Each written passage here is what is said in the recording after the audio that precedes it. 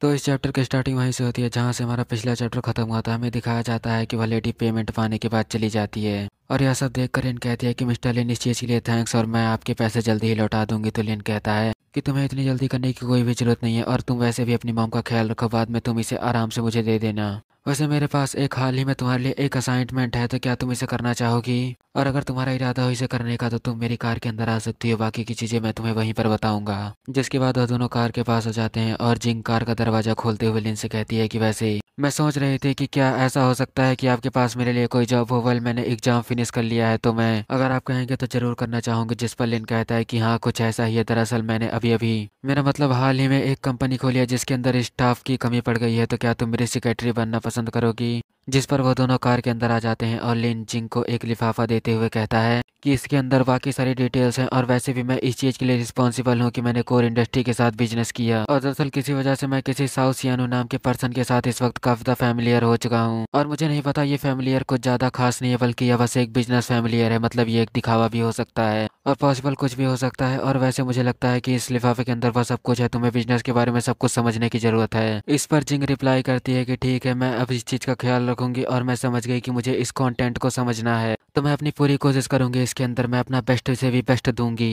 जिसके बाद लिन कहता है कि तो ठीक है, मैं तुम्हें अभी तुम्हारे घर पर छोड़ देता हूँ और जब तुम वहाँ पर जाना।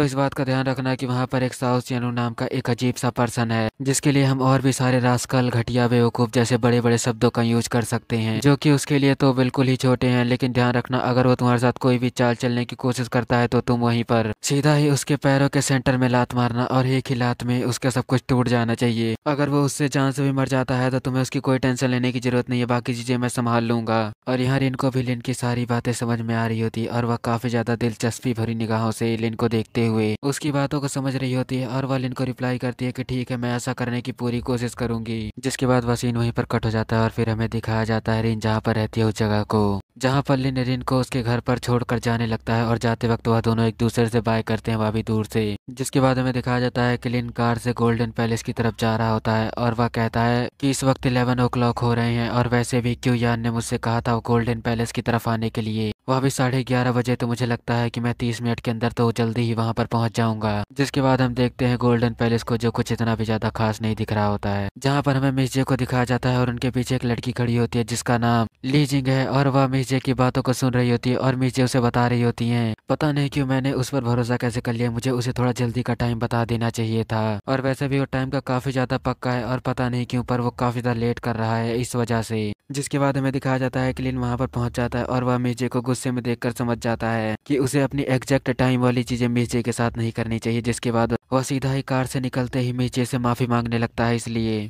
तभी लिव जिंग कहते हैं लिन से कि मिस्टर लिन मुझे पता है कि आप काफ़ी ज़्यादा ही व्यस्त हैं, लेकिन वैसे ये काफ़ी ज़्यादा बेहतर बात है कि आप यहाँ पर हमारे लिए टाइम निकाल कर आए हमारी क्लास रियूनियन के अंदर। तो मुझे लगता है कि मुझे और ज़्यादा देर नहीं करनी चाहिए और पहले हमें अंदर चलकर कुछ खा पी लेना चाहिए, मुझे बहुत भूख लगी है। जिसके बाद वह दोनों मेरा मतलब वह तीनों अंदर एंट्री करते हैं। तभी वहाँ पर एक ओल्ड लेडी उन्हें नोटिस करती है और इसका नाम सैंग मिंग यू है। और वह मिर्जे और लिन से कहती है कि आखिरकार आप दोनों यहाँ पर आ ही गए। हम कब से आपका वेट कर रहे थे? जिस पर मिर्जे मिंगयू के पास चली जाती हैं और वह लिन को उनसे इंट्रोड्यूस कराते हुए कहती हैं कि, लिन, यहाँ पर देखो, ये हमारी क्लास के मॉनिटर हैं मिंगयू। और दरअसल जो उनके बगल में खड़े हुए हैं, वो उनके हस्बैंड हैं, पैंग। और यह मेरे क्लास के अंदर के कुछ क्लासमेट है, जिनमें से यह सबसे आगे वाले का नाम लिव यार्ड है और उसके पीछे वाले का नाम जू जिंग यू है और उसके पीछे वाले का नाम जिंग वैंग जी है। और वैसे मैंने बीच वाले का नाम गलत पढ़ दिया, दरअसल इसका नाम वैंग जिंग यू है।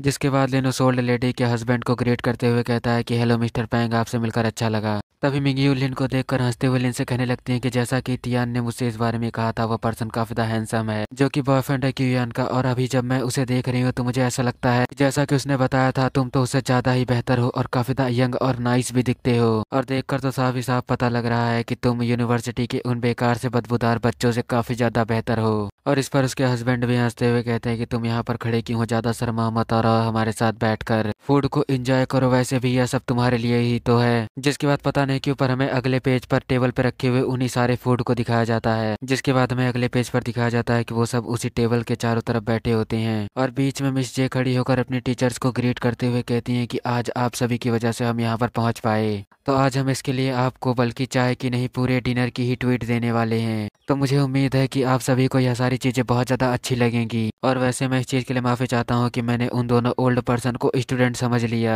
दरअसल वह जो ओल्ड लेडी थी, उसके नाम के आगे मेंटोर लिखा हुआ था और मैंने उसे मॉनिटर समझ लिया। तो मुझे ऐसा लगा कि वो ग्रेजुएट होने से पहले दो तीन बार फेल हो चुकी है, जिस वजह से वो बूढ़ी हो गई। तो मैं यहाँ पर इतनी बड़ी मिसअंडरस्टैंडिंग क्रिएट करने के लिए आप सभी से माफ़ी चाहता हूँ। लेकिन इसकी भी एक वजह है, जो की मैं वीडियो के एंड में आप सभी को बताऊँगा।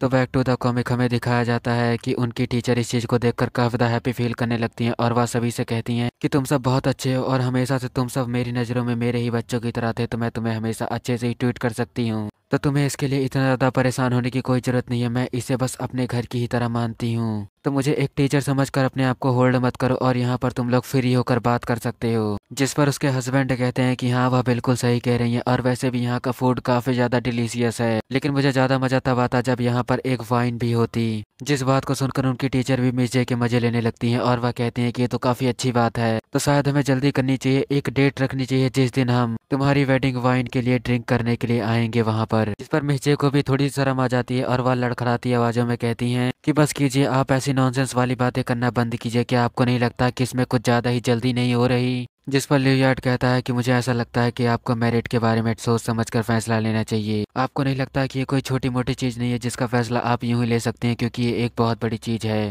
और वैसे भी कई बार ऐसी कंडीशन आ जाती है जब हमारे पास ज़्यादा रास्ते नहीं हो सकते, लेकिन वैसे इस वक्त यहाँ पर ऐसा कुछ भी नहीं है तो मुझे लगता है कि आपको सोच समझ कर फैसला लेना चाहिए, चंद पैसों के भूखों को आपके साथ नहीं रखना चाहिए। मेरा मतलब अपने साथ नहीं रखना चाहिए, जिस पर मिस जे कहती हैं कि आपको इस तरीके की टिप्पणियाँ नहीं करनी चाहिए, और वैसे भी सीनियर मुझे पता है कि मैं क्या कर रही हूँ, और आपको इसका फैसला लेने का कोई भी हक नहीं है, और वैसे भी लिन कोई बुरा पर्सन नहीं है, मैं उसे अच्छे से जानती हूँ। लेकिन तभी अचानक से मिस जे को नोटिस हो जाता है कि आखिरकार वो जिन बातों को कह रही है, उस चीज़ को लिन भी काफ़ी गौर से सुन रहा है। और मिस जे को भी समझ में आ जाता है कि उन्हें यहाँ पर इन सारी बातों को ऐसे ही नहीं कह देना चाहिए, नहीं तो उन्हें बाद में नुकसान होगा इसका। और वह लिन को इस तरीके से कान लगाकर उनकी बातों को सुनते हुए देखकर वो ब्लस करने लगती है और गुस्से में अपने मन के अंदर कहती है कि यह सच में बहुत बड़ा पागल है, मैं भले ही यहाँ पर उसकी साइड ले रही हूँ, लेकिन वो बाद में ज़रूर इसके लिए मुझे ब्लैकमेल करेगा। तभी लियोयार्ड इस बात को बदल देता है और वह कहता है कि, हे स्वीटी, क्या तुम्हें लगता है? एकॉर्डियन एक अच्छा इक्विपमेंट है और मुझे लगता है कि मुझे तुम्हें इसके एक इम्पोर्टेंट पॉइंट के बारे में ज़रूर बताना चाहिए। और वैसे भी अगर तुम चाहो तो मैं तुम्हें इसका एक टुकड़ा भी दे सकता हूँ। तुम्हारे इस बारे में क्या ख्याल है? और इस बात को सुनकर मिस जे और लिव जिंग के फेस का रिएक्शन कुछ ऐसा होता है और वह दोनों एक साथ अपने मन के अंदर कहती है की क्या ये पागल वागल तो नहीं है? आखिरकार कोई लड़कियों को ऐसी चीज़ें कैसे ऑफ़र कर सकता है?